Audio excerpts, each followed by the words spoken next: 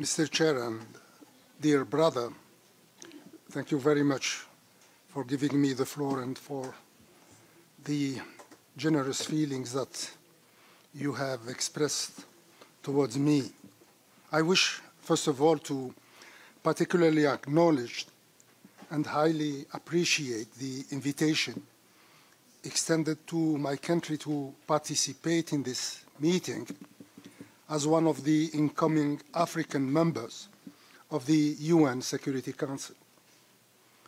Frankly speaking, and uh, on a selfish note, this is very beneficial to us as we prepare to take up the responsibility to serve Africa and to honor the mandate we have kindly received from our continental organization, the African Union.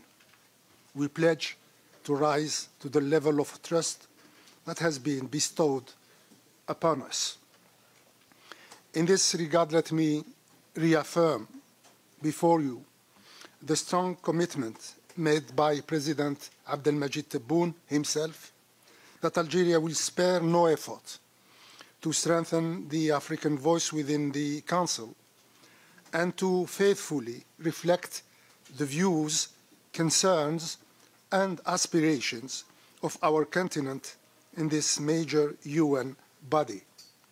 We will be more than honored to do that, building on the genuine efforts and remarkable progress achieved by our dear sisters and brothers from Ghana, Gabon, and Mozambique, the current African members of the Council who have so ably championed our common causes.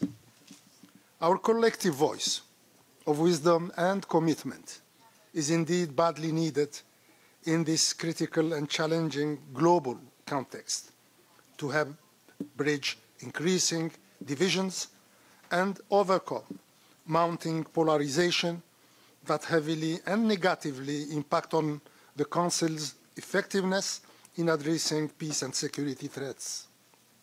In doing so, Algeria will remain deeply committed to the principle of African solutions to Africa's problems, which reflects the essence of today's debate on the financing of AU-led peace support operations. For us, the importance of this issue cannot be overemphasized. It has three major merits which all confer a strategic dimension to our collective endeavor in seeking access to UN-assessed contributions to fund peace efforts in Africa. Firstly, it secures continental appropriation and ownership of the instruments and tools designed to address Africa's peace and security challenges. Secondly, it provides the right alternative to the current UN peace model, which has reached the limits of what it can or cannot do. Thirdly, it demonstrates Africa's commitment and willingness to make its own contribution and to bring its fair share to the collective security system as provided for in the United Nations Charter. We are truly encouraged by the progress made so far in spearheading the African common position on this issue, and we highly value the work done by both the African Union Commission and the A3 to pave the way for the adoption of the long-pending Security Council resolution aimed at ensuring adequate, predictable, and sustainable funding of AU peace support operations. We believe that Africa has every right to have access to the UN-assessed contributions to fund its peace operations. We also believe that the collective security system will gain more efficiency and more effectiveness by enacting this long-awaited fundamental change.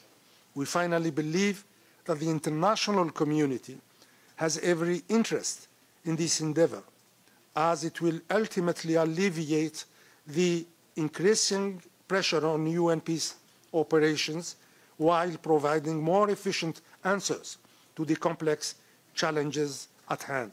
I wish our African sisters and brothers in the Security Council every success as they embark on substantive negotiations to move forward this issue.